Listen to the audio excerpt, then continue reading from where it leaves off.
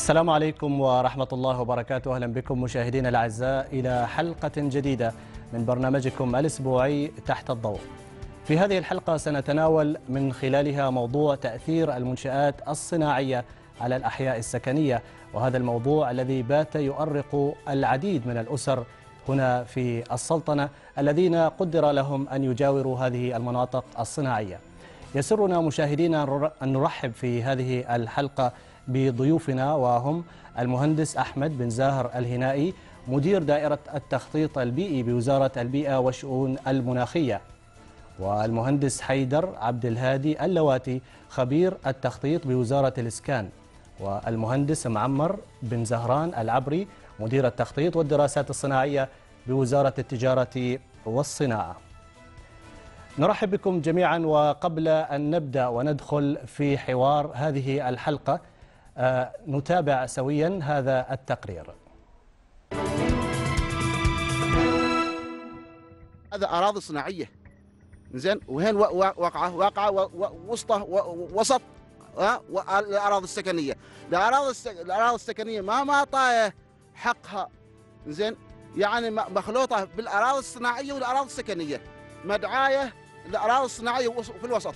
بانين بيوت بآلاف الريالات ولكن للأسف الشديد ما قدرنا نعيش فيه ما قدرنا نجلس داخل بيوتنا الإنسان جزء لا يتجزأ من البيئة التي يعيش فيها وينتفع بمواردها. هذه المنطقة السكنية التي نطل عليها من قمة مجاورة لها قدر أن تجاور المنطقة الصناعية القريبة منها بسبب ازدياد الكثافة السكانية ومن مبدأ الحاجة لمخططات سكنية وبجهود لا تنكر من قبل جهات الاختصاص. إلا أن الوضعية التي أمست عليها منازل المواطنين القريبة من تلك المصانع التي يرى أصحابها أنهم الأسبق في المكان من المنازل التي قامت تثير تساؤلات عديدة لكل من يراها على أرض الواقع. لنقف مع بعض اللوحات التي رصدتها كاميرا البرنامج في تلك المنطقة السكنية المتداخلة مع المنطقة الصناعية لنقف على مدى ضررها. جدار منزل أحد المواطنين ملاصق تماما لورشة صيانة السيارات. ثمانية أمتار فقط المسافة التي تبعدها المنشآت الصناعية عن منازل بعض المواطنين. مخلفات ورش السيارات ترمى في أماكن تضر بسلامة البيئة.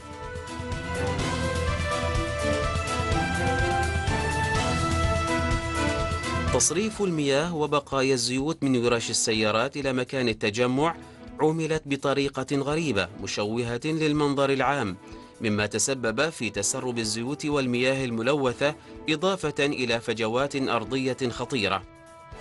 ومغسله في حتى فيضانات من داخل الأرض. ها فيضان داخل مغسلة دا فيضان داخل الأرض. لكن عدم المتابعة منها من البلدية وعدم المتابعة من الجهات المختصة. رذاذ مادة الديزل التي تتطاير عبر الهواء من ورش السيارات إلى المنازل تؤذي صحة المواطنين وحرية تواجدهم في ساحات منازلهم. نعاني منها من تطاير الزيوت ومن تطاير الغ- الغبار ومن ال- ال- الأتربة. زين على على على على, على المباني. الاكل اللي ناكله ما نظيف ابدا نهائيا. هذا بيوتنا ننظفهم في اليوم ثلاث مرات ولكن للأسف الشديد ما كانك تنظف داخل بيتك. الضوضاء هي أحد أنواع الملوثات التي يعاني منها المواطنون هنا إلى متى ستستمر؟ وازعاج ليل الساعة 12 من الليل لما يشتغل طابوق يوم ترن لك الماكينة تسمع من عند المسجد وإذ سبق لنا التنسيق أكثر من مرة مع المختصين في كل من المديرية العامة للتخطيط والمساحة بوزارة الإسكان والمديرية العامة للشؤون البيئية بوزارة البيئة والشؤون المناخية إلا أننا لم نحظى بمقابلتهم ولأن المواطنين دائما يلتمسون في جهات الاختصاص التعاون وبذل الجهد من أجل إيجاد حل مناسب يرضي الطرفين أصحاب المصانع وأصحاب المنازل المجاورة. صرنا البلدية وصرنا الإسكان وما كان ما صرنا له ورحنا إلى البيئة.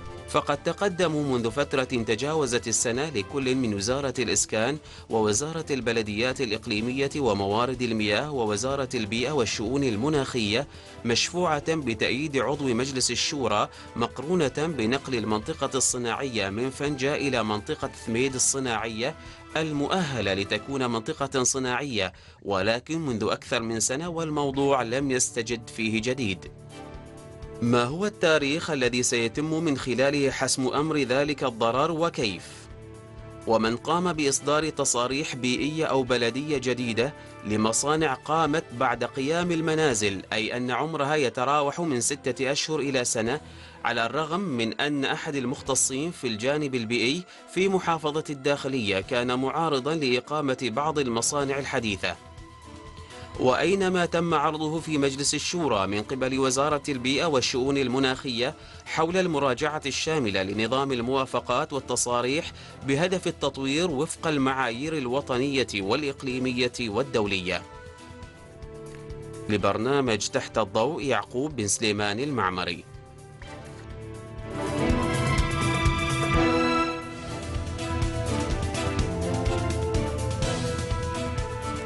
أهلا بكم من جديد مشاهدينا ونبدأ مع المهندس أحمد الهنائي في محور مخاطر وجود المناطق الصناعية ضمن أو قرب الأحياء السكنية. المهندس أحمد يعني من خلال التقرير يجد المتابع أن هناك التفاف على القانون لغير الصالح العام من خلال استحداث يعني تصريح بيئي لمنشأة صناعية في آه، يعني آه، صناعية حديثة في منطقة قديمة آه، وقرب حي سكني ولكن يعني تمت بموافقة المعنيين في الوزارة بدون علم المعنيين في الولاية. شكرا جزيلا أخي أحمد وشكرا موصول لاخوة القائمين على البرنامج.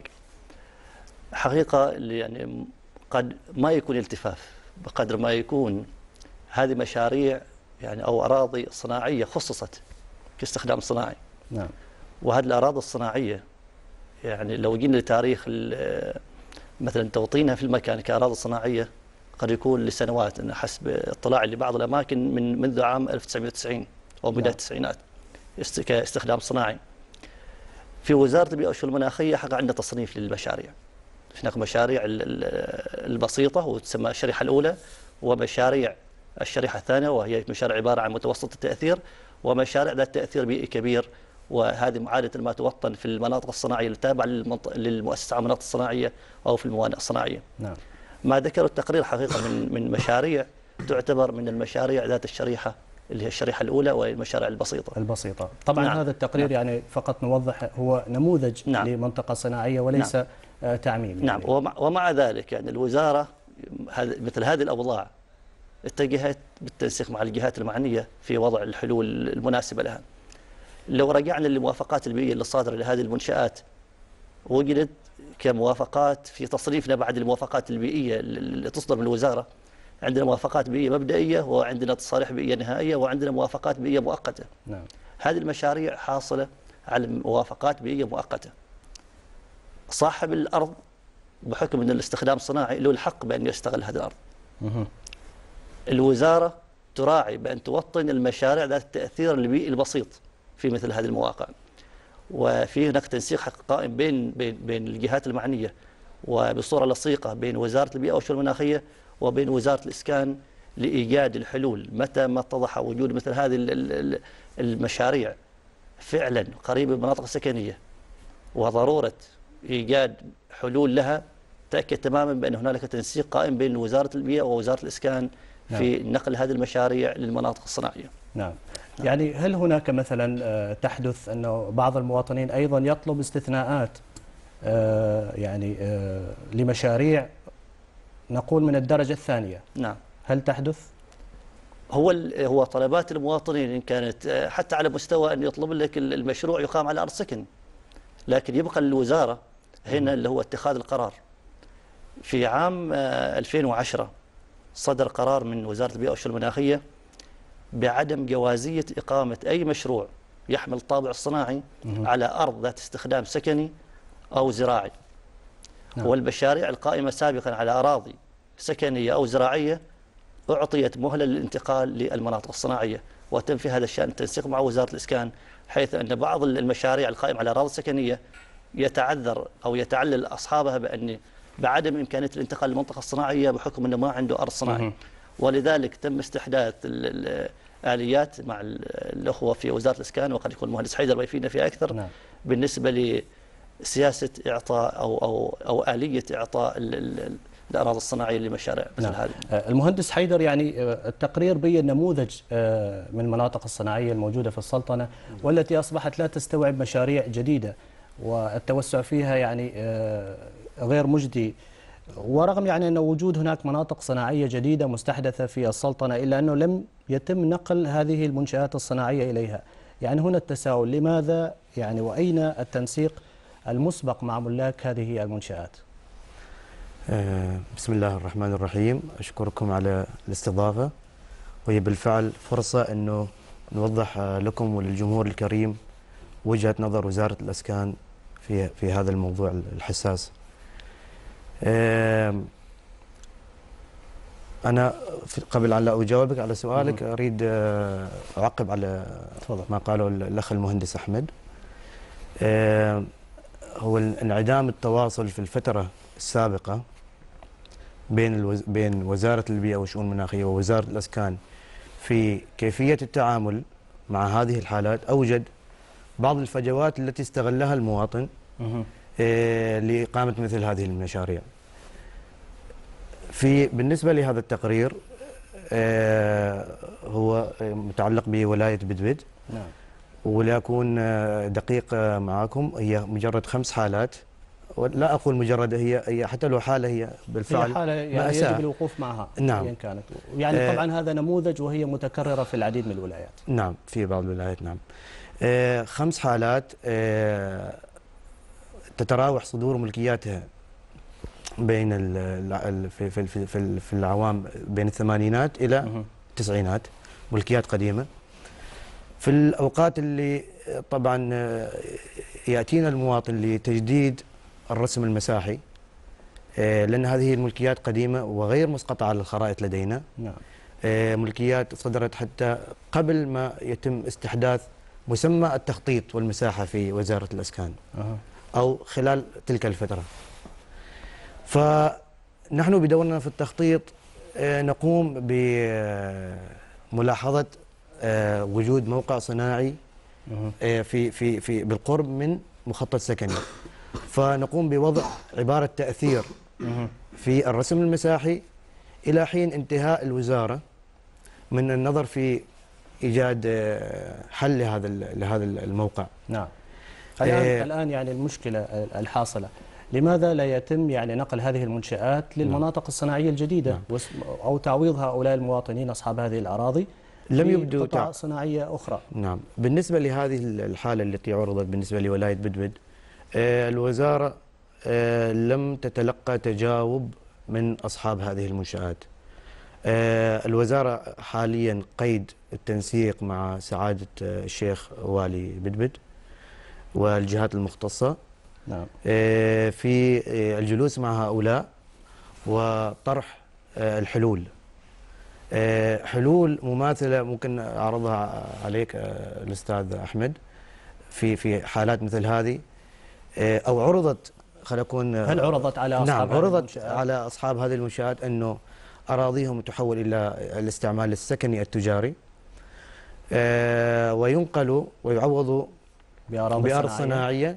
في في في مناطق أخرى نعم آه، لم يلقى هذا ال- ال- الشيء مبدئيا خلينا. نقول قبول فالوزارة الآن باتجاه ال- الجلوس آه، والتنسيق مع سعادة آه، الشيخ. والي والي الولاية والجهات نعم. المختصة سواء البلدية أو البيئة مهم. آه، ل- ل- لإيجاد حل أختصر آه، الكلام ال- ال- ال- للأسف في- الفترات الماضية لم يكن آه، تنسيق بيننا وبين البيئة آه، بحيث إنه سواء في بعض الحالات في لدى البلدية أو لدى. البيئة لمجرد وجود ملكية صناعية فهذا يخولهم حسب الأنظمة المتبعة لديهم إنه يصدروا له مثلا ترخيص وكذا إذا ترخيص ربما هناك نحن بحاجة إلى تحديث بعض الأنظمة والقوانين المتعلقة نعم. بالمناطق الصناعية. نعم. يعني نأخذ بما أن تحدثنا عن ولاية بدبد هناك نموذج آخر في ولاية قريات ومنطقة صناعية جديدة آه، يعني آه، استحدثت وهي الآن متوفرة وبكامل الخدمات ولكن ما زال يعني آه، المنشآت الصناعية موجودة في آه، سوق الولاية. نعم. طيب أنا ممكن أي مشروع وأقولها من هالمنبر أي مشروع صناعي نعم. في قائم على أرض زراعي زراعية أو استخدام سكني الوزارة لن تتوانى أبدا في اتخاذ الإجراءات لنقل المشروع إلى منطقة إذا هو في حال تواجد في حال تواجد منطقة صناعية في نقل المشروع إلى المنطقة الصناعية وعندنا هنا صيغة الإلزام. إذا يعني هي- ماذا يعطل هذا الإلزام؟ بس في حاجة هنا محتاج نذكرها. في بعض الأحيان لا تتوفر مناطق صناعية. نعم. وأحيانا تتوفر المناطق الصناعية إلا انه لا تتوفر بها الخدمات. فتبقى وزارة البيئة في في موضع يعني ال- الحرج في أنها تضغط على صاحب المشروع بأن ينتقل المنطقة الصناعية وفي نفس الوقت لا توفر الخدمات بهذه بهذه المناطق الصناعية. إلا أن فعلا من واقع العمل خلال الثلاث سنوات الماضية منذ صدور القرار الوزاري. بنقل المنشآت الصناعية القائمة على أراضي استخدام سكني وزراعي للمناطق الصناعية. فعلا في في مشاهدات من قبلنا كوزارة بيئة مناطق صناعية تعمرت. نعم. بدون بدون وجود خدمات. وهذا حقيقة يعني حاجة يشكر عليها ال- ال- المتجاوبين من من من أصحاب المشاريع بأنهم يتجهوا للمناطق الصناعية إلا أنه بدون ما توفر فيها خدمات. ومع هذا ربما حاجة الولاية أو هناك عوامل أخرى جعلت يعني سهلت من هذا الموضوع. نعم. هو حاليا في تنسيق قائم حق بين الجهات المعنية ولو ولو ولو تطرقنا لبانه حوالي أكثر من 12 منطقة صناعية. آه نزلت فيها مناقصات نعم. لتوفير الطرق ال- عن طريق وزارة البلديه الاقليميه وموارد المياه نعم. وه- وهذه بشائر طيبة إن شاء الله في إن شاء الله. المهندس آه، معمر يعني تصاريح آه، إنشاء آه، المنشآت الصناعية يعني تأتي من وزارة التجارة والصناعة. ما هي اشتراطات ال- الوزارة للحصول يعني آه، على هذه التصاريح والتي تحد من وجود يعني المنشآت على مسافة قريبة من المناطق السكنية؟ بسم الله الرحمن الرحيم. أشكركم على هذه الاستضافة. وبداية آه، قبل أن أدخل في هذا الموضوع يجب أن أوضح آه، أن المشروعات الصناعية في السلطنة قائمة وفقا لقانون تنظيم وتشجيع الصناعة. آه، هذا القانون هو قانون صناعي موحد على مستوى دول مجلس التعاون. وهذا القانون صدر منذ سنة 2008 آه، ميلادي. آه، ليس كل منشأة قائمة تعتبر منشأة صناعية ينطبق عليها تعريف المشروع الصناعي تسجل لدينا. فبعض المنشآت تعتبر من المشروعات البسيطة. وهذه المشروعات البسيطة لا تعتبر من المشروعات الصناعية وبالتالي آه، لا يستلزم أن تحصل على موافقة معنا بل آه، بالعكس إنها لو جاءت وقدمت طلب معنا فإن طلبها سيتم آه، رفضه.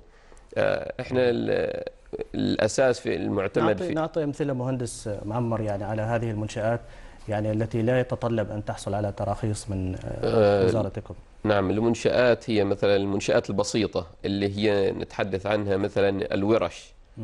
آه، أغلب الورش ورش الحدادة ورش النجارة مشروعات مغاسل السيارات وما إلى ذلك من مشروعات نعم. طبعا إحنا على أوضح للجميع إنه أصل المش... المشروع على أساس يكون صناعي يجب أن يتم تحويل مادة خام إلى إلى منتج أو تحويل آه، مادة نصف مصنوعة إلى جه... تامة الصنع أو مادة خام إلى مادة نصف مصنوعة. وهذا طبعا يجب أن يتم بقوة آلية.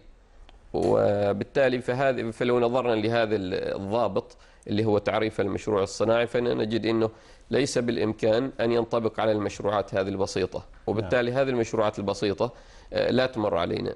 أما ردنا على سؤالك ب- بأن التراخيص تصدر من معنى فإن وزارة التجارة والصناعة آه، المديرية العامة بالص- للصناعة بالوزارة وفروع الوزارة في المحافظات آه، تصدر تراخيص صناعية بناء على خطوات معينة.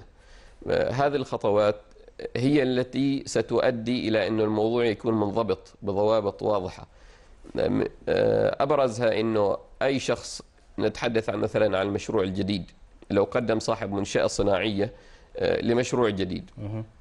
آه، متى ما جاءنا الطلب ووصل معنا في الوزارة يتم دراسته فنيا للنظر في استكمال الإجراءات الداخلية الفنية وفق أن الاستمارة معبأة بالطريقة الصحيحة. بعد ذلك نقوم وفقا للموقع الذي حدده صاحب الطلب لإقامة مشروعه نقوم بمخاطبة وزارة البيئة. نعم. نخاطب وزارة البيئة ونطلب وننتظر ونبلغ صاحب الطلب بأن طلبه تم, تم إحالته إلى وزارة البيئة. ألا تتابع يعني الوزارة وزارة التجارة والصناعة لا تطلع على الموقع لا تزور الموقع بحيث أنه قد يعني لتجنب ال- ال- السكان في تلك المنطقة.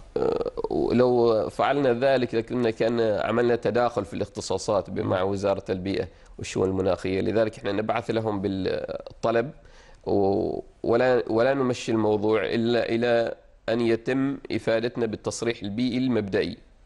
نعم. موافقة وزارة البيئة ويكون محدد بالمكان. وطبعا ما نرسله لوزارة البيئة يكون محدد حتى بالطاقة الإنتاجية. فقد يوافقوا على طاقة معينة لم- لنشاط في مكان معين ولا يوافقوا على طاقة أعلى. نعم. هذا أساسا بعد ذلك بعد ما تجينا الموافقة من عندهم آه، نصدر الترخيص الصناعي. هذا بالنسبة للأنشطة آه، التقليدية. هناك طبعا موافقات أخرى قد تستلزم من آه، جهات أخرى غير عن وزارة البيئة حسب نوع النشاط. فهذه ليست محور حديث يعني. نعم. آه، مهندس آه، أحمد آه، الهناي يعني توجد شكاوى لدى وزارتكم من سكان في مناطق ريسوت وكذلك أرسيل الصناعية.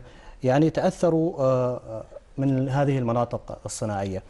ما هو حجم الضرر الذي سجلوه يعني أو سجلته سجلتوه في الوزارة من هذه الشكاوى؟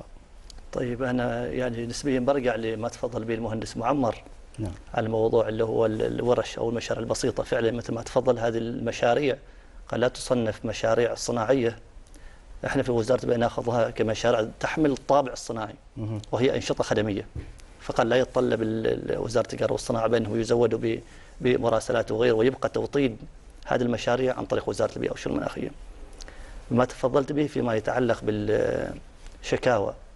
لمنطقه الرسيل الصناعية وريسوت آه، الصناعية. نعم. طيب. ال- الوزارة حقا تقف. يعني مع كل شكوى الوزارة تأخذها محمل جد. وأنا أقولها يعني بكل ثقة. كل شكوى تردنا يتم اتخاذ الإجراءات فيها. يتم التحقق منها. وإذا ما وجد فعلا الضرر موجود على على ال- المشتكي سيتخذ الإجراءات. عادة ما هي هذه الإجراءات؟ نعم. عندنا يعني ال- الشكوى مثل هذه بالنسبة للمشاريع التي- اللي سبق وان طرحت في ال- في التقرير. وجود المشاريع هذه. هل الشكوى عن توطين المشروع في الموقع أو عن تجاوزات في من من عمل هذه نعم. الأنشطة؟ تجاوزات لدى المنشآت نعم الصناعية. تجاوزات إذا كان بالنسبة لإقامة المشروع في الموقع فهذا له إجراءات إدارية سابقة.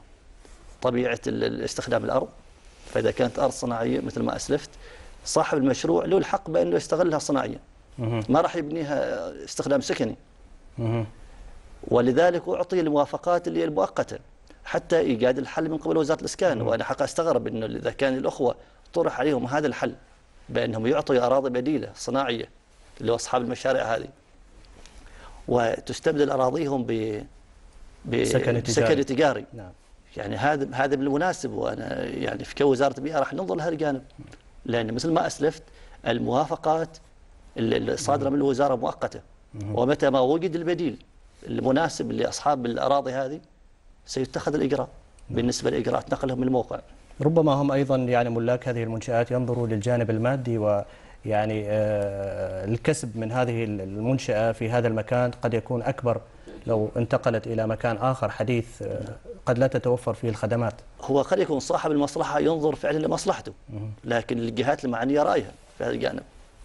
وبالتالي إذا ما وجد البديل المناسب فليفترض على الجهات المعنية بان تتخذ الاجراء وحقيقه هذا الموضوع س يعني سأتابع مع الأخوة حتى مع وزارة الإسكان بالنسبة لل ال- الفعل إذا كان ال- اصحاب المشاريع هذا هم متفقين على الانتقال. تفضلت كان بالنسبة إذا كان أن هناك ذكرت أن الضرر يعني إذا كان آه، من تجاوز لدى المنشأة كيف يكون التعامل نعم. معه؟ حجم الضرر يحكم يحكم أو يحكم الموضوع إذا كان الضرر ذات تأثير بيئي كبير وبالتالي في عندنا اللي هو محاضر الضبط تسمى أو حتى يصل لوضع بأن الموضوع يحال للقضاء علما انه بعد بعض الأضرار يعني لا تحتمل الانتظار نعم. يعني ممكن أنها يوم واحد لا تحتمل في حالة وجود خطر داهم للوزير الحق في وقف المشروع لمدة شهر. أو حد وي- ويجوز تجديد قرار الوقف هذا. يعني نتكلم لكن لما لما نتكلم عن هذه المشاريع المشاريع ما هو الخطر الداهم والذي قد ينتج؟ قد, قد. ينتج من من ورشة إصلاح سيارات أو من ورشة غسيل. فهي هذه هذه تأخذ طابع اللي هو مثل ما قلنا هي مشاريع بسيطة وتأخذ تجاوز التجاوزات. إن وجدت فيها اللي هي الشق ال- البسيط واللي ممكن يعالج أما بمحضر ضبط أو بإنذار أو بالرساله فقط توجه لصاحب المشروع. نعم. آه، مهندس حيدر هناك أيضا بعض الشكاوى في منطقة آه، المعبيلة الصناعية. آه، يشتكي يعني هناك بعض السكان آه، لابد له أن يسلك المنطقة الصناعية حتى يصل لمقر سكنه. كيف تعالج هذه الإشكالية؟ آه، لقد يعني روعي في ما يخص مخطط المعبيل الص- الصناعي إنه اولا آه، ضروري نوضح لكم إنه تصنيفات آه، ال- ال- ال- الاستعمالات الصناعية هي خمسة يعني هاي التصنيفات من وزارة الإسكان لا بالتنسيق مع البيئة نعم. يعني في صناعي خفيف. وفي صناعي متوسط وفي صناعي ثقيل وفي اللي هو مواقع تجميع المخلفات وفي المرادم. نعم. لكل واحدة إحراماتها اللي هي معتمدة وتم اعتماد هذه الإحرامات في العام المنصرم. آه، آه، وزارة الإسكان آه، تعنى بشكل مباشر في إعداد المخططات المخططات الصناعات الخفيفة نعم. والمتوسطة. آه، سابقا كانت إحرامات المخططات آه، الصناعية المصنفة كصناعي خفيف 70 متر 70 متر عن ال- ال- الإحرامات المحددة من من مهم. إح- الإحرامات بين الوزارة بين عذرا ال- الاستعمال الصناعي والاستعمال والاستعمال السكني. السكني، نعم. 70 متر. في في العام المنصرم حدد آه، 1 كيلو متر. هذا الواحد كيلومتر هل سينطبق على المناطق القائمة حاليا أم المناطق الجديدة؟ لا المناطق الجديدة. نعم. يعني تم بال بال بالاتفاق بين أصحاب المعالي الوزراء آه، في الجهتين على أنه عبر مراسلات طبعا أنه هذا يطبق على ال- ال- المناطق الجديدة. وبالفعل آه، جاري تطبيق هذه ال- ال- ال- ال- الإحرامات وللأمانة لمسنا من البيئة آه، يعني وقوف يعني والتزام كامل معنا في إنه إنه إنه نلزم آه، ال- ال- ال- ال- ال- يعني أصحاب الطلبات أصحاب ال- المواطنين اللي- اللي يعني يفكروا يتجاوزوا هذه ال- مهم. الإحرامات آم، آم، سواء بطلبات جديدة أو بطلبات امتداد لمواقعهم مهم. فارجع للمعبيلة نعم. لمخطط المعبيلة آه، روعي في هذه ال- ال- ال- ال- هذه ال- الإحرامات علما أن مخطط المعبيلة يعتبر جديد أم قديم؟ لا مخطط المعبيلة قديم نعم يعني في. في يعني ولكن يعني كيف 2001. وصلت المناطق السكنية الجديدة لمخطط صناعي في في منطقة المعبيلة؟ هو في في الفواصل موجودة يعني هي الفواصل للطرق ومثل ما ذكرت هي هي هو المخطط مصنف لدينا كمخطط صناعي خفيف. نعم. وأنا ال- ال- اللي اعرفه ان ال 70 متر آه، ملتزم فيها. ومن ناحية ثانية إنه جميع مخططاتنا اللي, اللي, اللي, جميع المخططات اللي تعدها الوزارة. آه، تعرض آه، على جميع الجهات ذات الاختصاص. أها. هناك يعني هناك هذا لجنة مثلا أو هناك مثلا آه، يعني تواصل مع الجهات الأخرى قبل تخطيط هذه المناطق آه، الصناعية. هو منذ العام 1995 وزارة الأسكان أول ما تعد التصميم. والتصور لأي مخطط آه، آه، يتم إرساله لجهات مختلفة هي البلدية والشرطة والبيئة وموارد المياه آه، لأخذ موافقاتهم. إذا هناك جهات مختلفة يعني تتعلق فيها آه، آه، يعني تصنيفات المخططات سواء سكنية أو صناعية. نأخذ اتصالات معنا سعود الصوافي. تفضل سعود. السلام عليكم. مساء الخير. مساء النور. تفضل سعود. كيف الحال شيخ طيب. حياك الله. أعطينا سؤالك سؤالك مباشرة سعود حتى يعني نختصر الوقت. سؤالي عن الأراضي الصناعية. نعم. اللي بسناو في مخطط كبير هنا يعني ويوزع الأراضي ما لأصحابين البلد لبلدان ثانية من المضيبي والفتح وغيره محصلين وأصحابين الشارع في السناو الفتح من المضيبي. الأراضي هذه الصناعية ولا التجارية. نعم. يعني استحوذوا كله بالأراضي عليه هذا يعني في كيفية المضيبي توزيع الأراضي ال- الصناعية في آه، آه، في المضيبي؟ أيوه. إذا مثلا أنت المدير تعرفه بوزع لك حيث تريد أنت يعني. لأنه منطقة زينه سناو فيها حركة تجارية يعني ما شاء الله. نعم. اسمه المواطن اللي في بالبلد ما محصل هذه الأراضي. من نعم. شيوخ ومن أعيان وشيوخ يعني. نعم سعود محصلها. يعني عذرا ولكن هذا ليس يعني محورنا في هذه الحلقة. آه، يعني آه، يعني توزيع توزيع الأراضي. تعطيها- تخبرهم ال- اللي عندك يعني موجودين. إحنا نتحدث يعني عن مخاطر وجود ال- ال- ال- المناطق الصناعية في الأحياء السكنية. آه، نعتذر لك وممكن أنه نناقش هذا الموضوع يعني في حلقات قادمة. آه، معنا أيضا سليمان الزكواني تفضل. السلام عليكم. عليكم السلام ورحمة الله. كيف صحتكم؟ خير؟ تفضل أخي سليمان. بارك الله فيك أحسنت.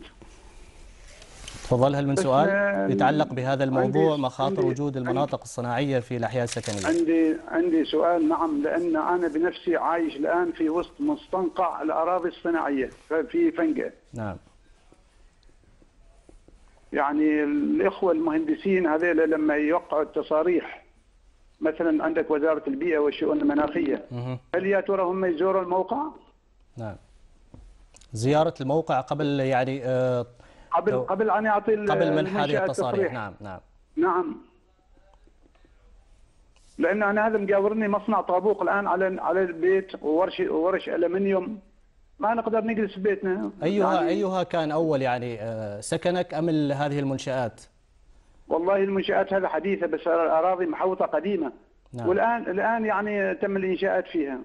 ما حجم الضرر يعني اللي, اللي تحصلوه أنتم من هذه المنشآت؟ إيش الإزعاج اللي تحصلوا؟ منها؟ الضجيج الضوضاء نعم.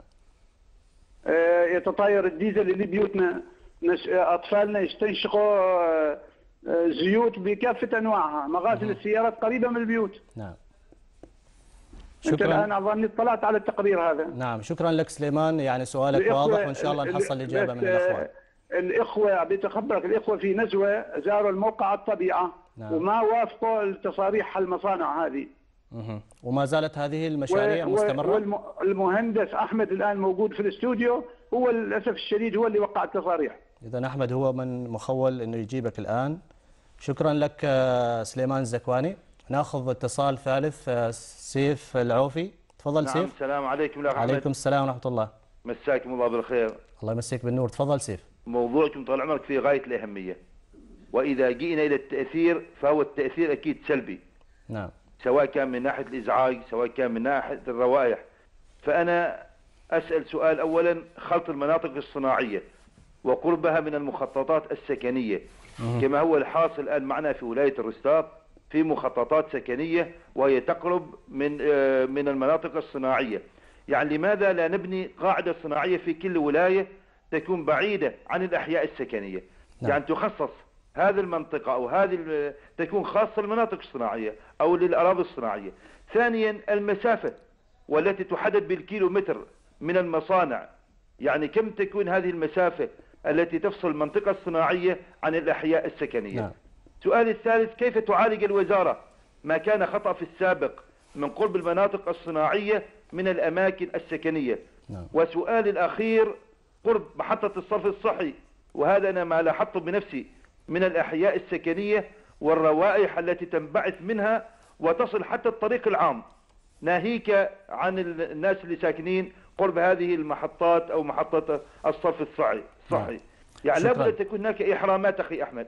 شك شكرا لك سيف على هذه المداخلات وهذه الأسئلة. ونذهب مباشرة للمهندس أحمد يعني والحالة التي تحدث عنها سليمان الزكواني. في ولاية فنجة يعني توضيح بسيط للمشاهدين عن يعني أحد النماذج الموجودة التي تسبب إزعاج للسكان من خلال الروائح أو الضوضاء وغير ذلك. نعم. هو ذكر الأخ سليمان اللي هو في مشاريع قد يكون لم يتم إجازتها من قبل إدارة البيئة بالمنطقة وتم إجازتها من ديوان عام الوزارة. نعم. آه، حقيقة توجد صلاحيات لكل لكل جهة. معينة في عملية إصدار تراخيص وفق معطيات معينة. المشروع مثل ما قلنا هذه المشاريع الصناعية اللي يتكلم يذكروها هي عبارة عن أنشطة خدمية. بعد لا زلت أذكرها بأنها أنشطة خدمية حتى في التصنيف الصناعي في وزارة التجارة والصناعة غير مصنفة كمشاريع صناعية. إلا أن لا ننكر بأنه قد يصاحب تشغيلها. يعني إزعاج. تأثيرات. نعم. إزعاج. لها تأثير ولها ضرر نعم. على السكان. الضرر وهذه الجوانب. هل هنالك زيارة تتم عن طريق الوزارة؟ نعم. أي مشروع خارج أي منطقة صناعية يتم زيارته. نعم. والتأكد من ملائمته البيئية. وهل يتوافق طبيعة المشروع مع موقع ال- الذي سيقام عليه أم لا؟ نعم. فكل مشروع أنا أحب أطمن الأخ سليمان بأن كل مشروع يحمل طابع الصناعة ويحصل على الموافقة البيئية من وزارة البيئة يتم زيارته وفق القانون. يتم زيارته قبل إصدار الموافقة البيئية. أما إذا كان داخل منطقة صناعية مخصصة وبالتالي الوزارة بداية تعطي الموافقة البيئية للمنطقة الصناعية كامل ومن ثم تنظر لمستوى المشاريع في على بشكل انفرادي. نعم. دون الحاجة للزيارة. بعد ما نصرح للمنطقة الصناعية كلها داخل المنطقة الصناعية ما يحتاج للوزارة بأنها تزور لأنه خلاص طمنت بأنه عندي منطقة صناعية تم مراعاة الإحرامات. وفق ما تفضل به المهندس حيدر في الآونة الأخيرة صارت في إحرامات تم الاتفاق عليها بين الجهات المعنية. وفي ذاك الوقت يقيم الجانب الفني فقط للمشروع نفسه. نعم. فال- مهندس نعم. مهندس معمر يعني آه، نحن بحاجة لتحديث هذه القوانين. ما هو دور وزارة التجارة والصناعة آه، بالاشتراك مع هذه المؤسسات الأخرى؟ يعني آه، لراحة المواطنين من مثل هذه الإشكاليات. نعم. آه، بالنسبة لوزارة التجارة والصناعة إحنا مثل ما أسلفت إن إحنا شغالين على قانون الصناعة وهذا اللي يخص في المنشآت الصناعية. آه، اللي ينطبق عليها التعريف. آه، بالنسبة للتعاون مع الوزارات الأخرى سبق للوزارة أن عقدت آه، حلقة عمل لقاء بين مع جميع الجهات المعنية أو نقول أغلب الجهات المعنية بالمشروعات الصناعية. نعم. أيوة فهذا اللقاء كان الهدف منه توضيح الإجراءات بشفافية بين الجهات الحكومية المعنية. وأسفر على عن عدد من التوصيات وبعض الملاحظات اللي تبادلناها فيما بيننا وكانت إيجابية يعني. أما على صعيد القوانين فإحنا في نتحدث عن قانون الصناعة فهو قانون خليجي موحد. آه، هذا القانون يعني راعى بشكل واضح وتام آه، لا غبار عليه إنه لا يقام أي منشأة صناعية. إلا إذا كانت قد حصلت على الموافقة البيئية. بحال من الأحوال يعني لا يجوز إلا بالم- بهذه الموافقة. نعم. آه، مهندس حيدر يعني في إطار ال- الاشتراطات البيئية والتصاريح الصناعية وأيضا متابعة استخدامات هذه التصاريح مع النمو يعني النمو السكاني المتسارع هنا خصوصا في آه، محافظة مسقط. يعني على مسافة قريبة من وزارة الإسكان يوجد هناك مصنع للصابون قرب حي سكني. ويعني السكان هناك يعني أبدوا انزعاجهم وهناك الكثير من الرسائل آه، من أعضاء لمجلس الشورى ولمجلس الدولة توضح أن هناك ضرر من هذا المصنع. ما هو تعليقك؟ آه، أنا ما ما ملم بوجود المخطط المخطط أعتقد هذا مخطط قديم طبعا. نعم. أنا في وجهة نظري أنه في مثل هذه ال- ال- ال- الأوضاع آه، يأتي دور البيئة. في تقييد مثل هذه المصانع آه، بالضوابط البيئية. يعني وزارة الإسكان ليس لها دور في آه، يعني السلطة لنقل هذه المصانع من هذه الأماكن السكنية إلى مناطق سكن آه، صناعية جديدة لا هو أكثر أنا أشوف إنه أكثر في هذه الحالات الآن القائمة دور البيئة أكثر مما هو دور وزارة الأسكان من حيث إنه في وكذلك وزارة التجارة على علم بهذا إنه في آه، مواصفات أو آه، شروط وضوابط ممكن تطبق أو أو تفرض على أصحاب هذه المصانع للتقليل من الأضرار الناجمة من من من. من هذا المصنع.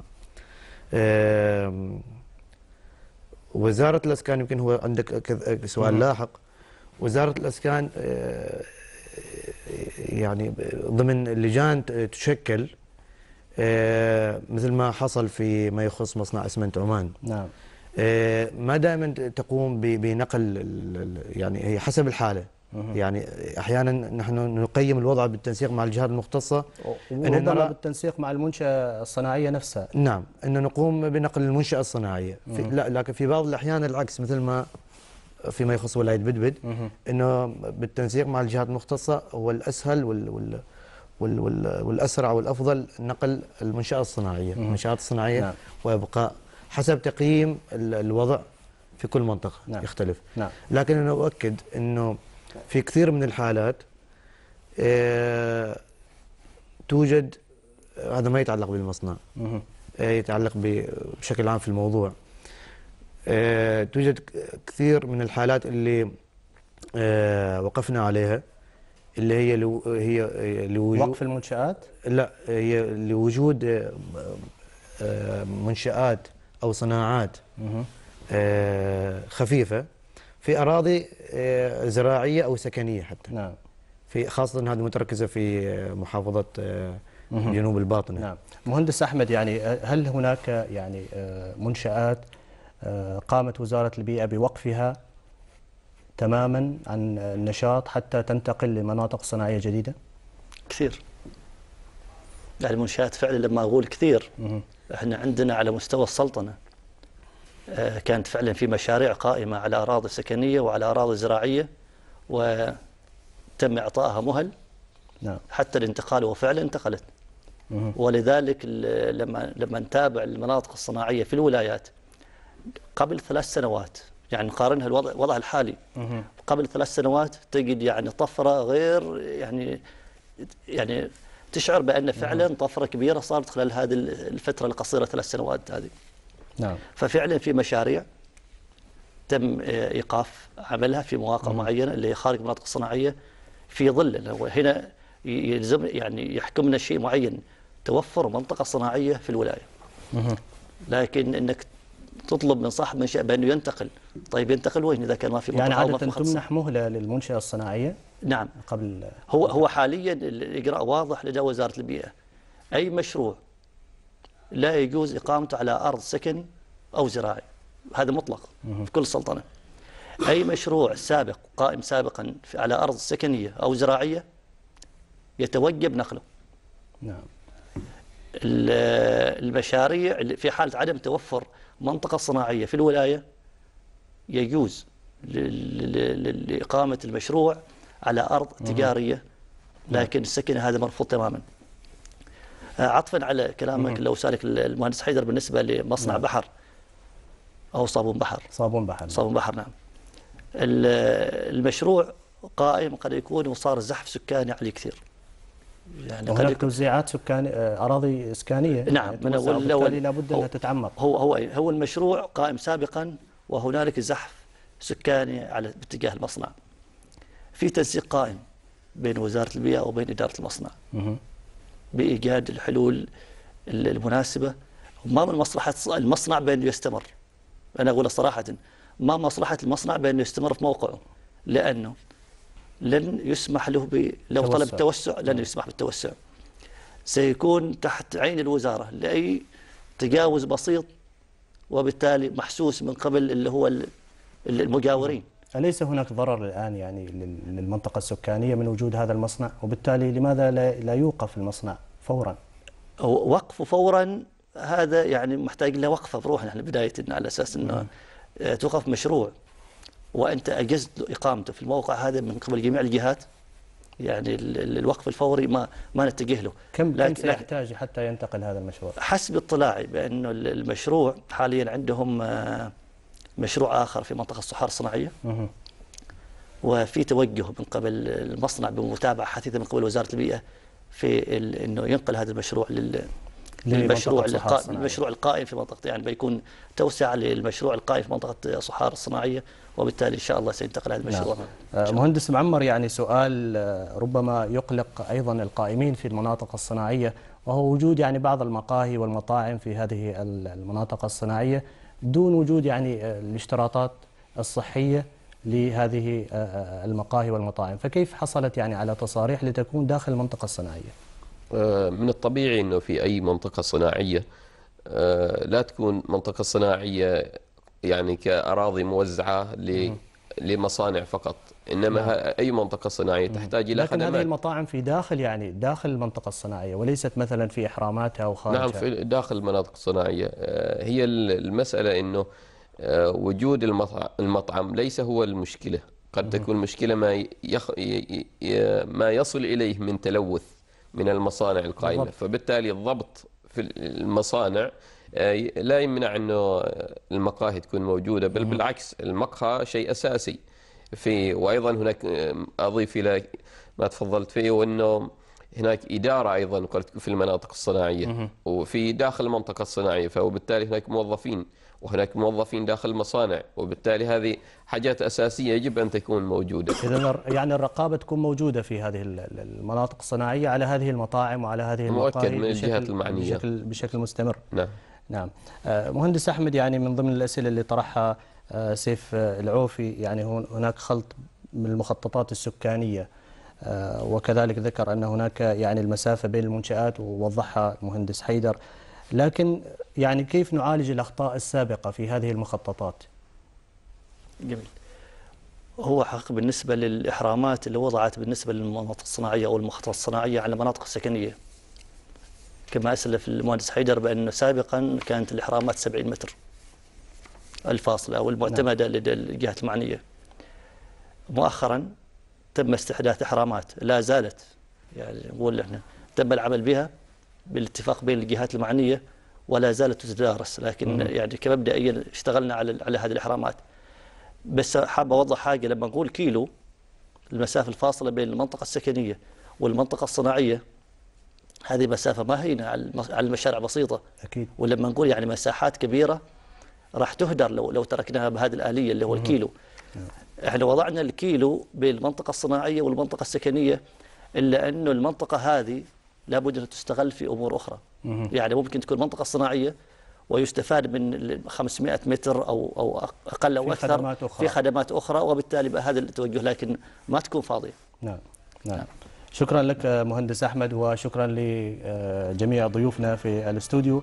وشكرا لكم مشاهدينا الأعزاء على متابعة هذه الحلقة ونلتقيكم بمشيئة الله تعالى في الأسبوع المقبل ومواضيع متجددة. شكرا لكم وإلى اللقاء.